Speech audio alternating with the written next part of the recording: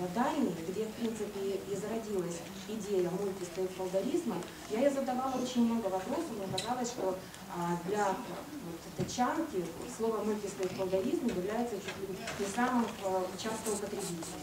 И оказалось, что несмотря на то, что концепция мультистейкхолдеризма, о которой мы будем очень много говорить, она является центральной а, в датской политике и в датской общественной жизни, они это слово не употребляют, но они живут по принципам мультистейкхолдеризма, по принципам прозрачности, открытости, подотчетности всех действий власти, бизнеса и общественных организаций.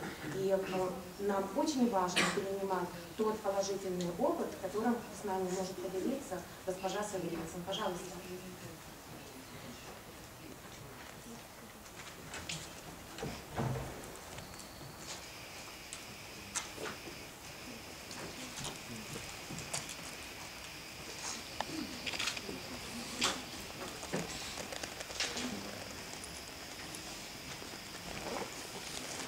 Thank you, and especially thank you to Oksana, who has really prepared a big event here today, which we all uh, is very grateful for her about.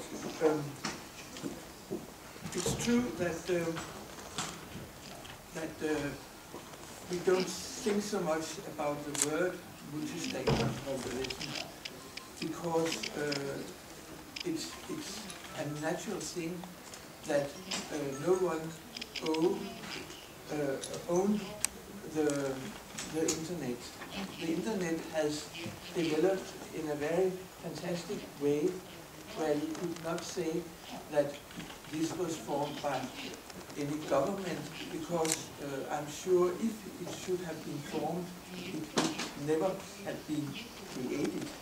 Um, and uh, I think that the development of the, inter, uh, the uh, internet society, uh, the information society, is uh, something that has changed our world very much.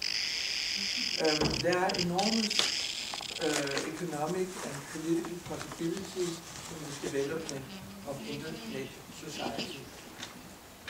The future of your country um,